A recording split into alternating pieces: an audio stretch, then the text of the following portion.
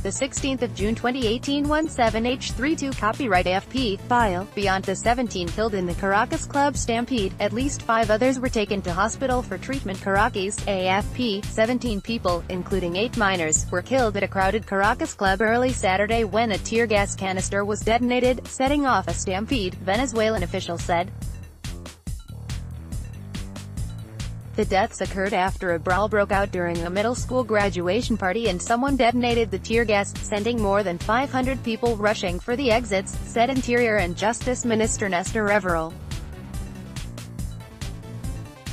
In comments aired on State VTV television, Reverol put the death toll at 17. Witnesses said a minor, one of seven people detained in the incident, is suspected of setting off the tear gas.